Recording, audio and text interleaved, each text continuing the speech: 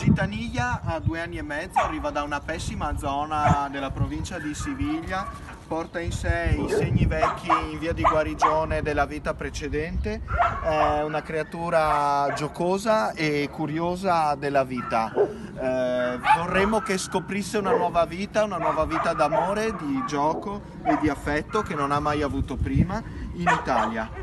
Gitaniglia cerca famiglia in Italia, Gitaniglia vuole lasciare il suo posto nella gabbia ad un altro cagnolino.